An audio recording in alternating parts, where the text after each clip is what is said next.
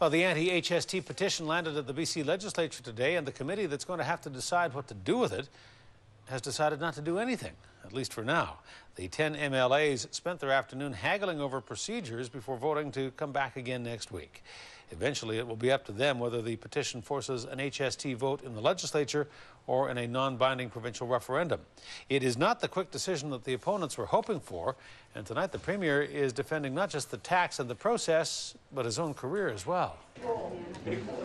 It was billed as a historic day for democracy. In the end, the history barely lasted an hour, taking only 15 minutes to hit the first speed bump.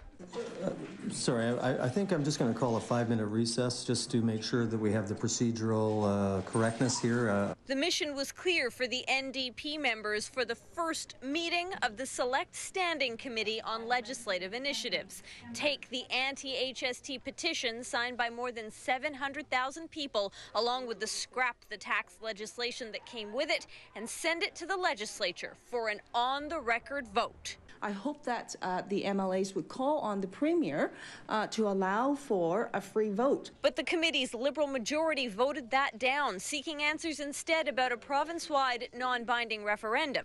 The NDP claims the Campbell Liberals aren't acting out of public interest but political interest when it comes to a referendum because even though a vote could cost millions and millions of dollars, it also saves government MLAs from having to stand up in the House and vote for the HST. That's something not all Liberal cabinet ministers are keen to talk about right now. It's a bit premature to, to, to know uh, what actions are, are going to be next until we know what their final decision will be. Eventually, four New Democrats and five Liberals agreed to come back next week when they'll ask BC's chief electoral officer for more information. Because I think the government is actually uh, in chaos at the moment. They don't know what to do. It's a ridiculous procedural thing that I've never even seen anywhere in my life. I certainly don't apologize for doing things in a thorough fashion and making sure they're done appropriately. Ultimately, it's not so much what happened today, but the backdrop it's happening against.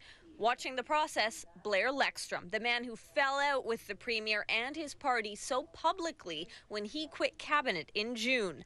Lekstrom repeating his calls for the Premier to go. Resigning is not a word that I would use. Retirement is something. I think he served the public very well for the better part of a decade. Uh, it's very clear we see this issue uh, substantially differently.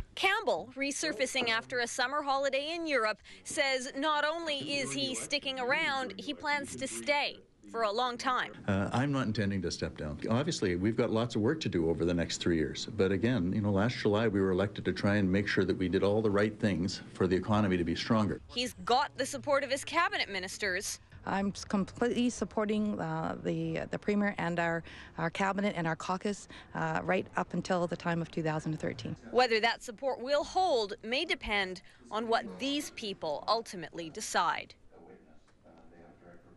Shachi Kurl reporting tonight.